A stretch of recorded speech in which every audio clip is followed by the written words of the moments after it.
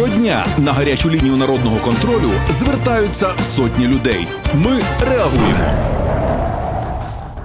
Народний контроль разом із мешканцями Добровольського 24 добилися обрізки аварійних дерев. Тепер майже сторічні тополі не загрожуватимуть людському життю. А ще нещодавно люди з острахом чекали сильного вітру, адже тоді їм на голову могло звалитися сухе гілля. Мені по голові колись як дало, та добре, що тут що люди, бо я не так боляче мені було, як я злякалася. Ви розумієте? Я ж знаю, куди я йду.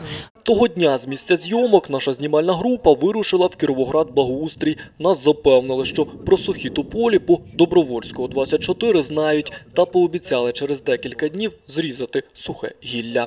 Виїдемо ще раз за цією адресою, і, і якщо ми там на місці приділимо, що їх треба обрізати, ми обов'язково виконаємо цю роботу. Комунальники таки не зійшли на манівці. Через пару днів почали обрізати віття дерев. Мешканці будинку радіють, що тепер під вікнами безпечно ходити.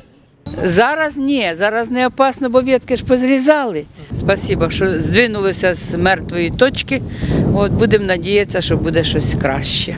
А, Работа их очень м, нравится, активно работали, очень активно. Притом э, благодаря вам э, приехали очень быстро. На ваш виклик, коротше, отреагували дуже чітко, прислали дві машини. Благодаря вам, дай Бог вам здоров'я, вашої контори. Народний контроль і надалі захищатиме права громадян на безпеку. Микола Старий, Станіслав Люцько, Народний контроль. Звертайтеся до народного контролю. Телефонуйте 0800 502 945. Коли політики, чиновники та правоохоронці не чують вас, до їхніх кабінетів прийдемо ми. Команда народного контролю. Народний контроль це програма про те, як змусити владу працювати чесно. Чесно З понеділка по четвер о 19.30 на телеканалі Кіровоград.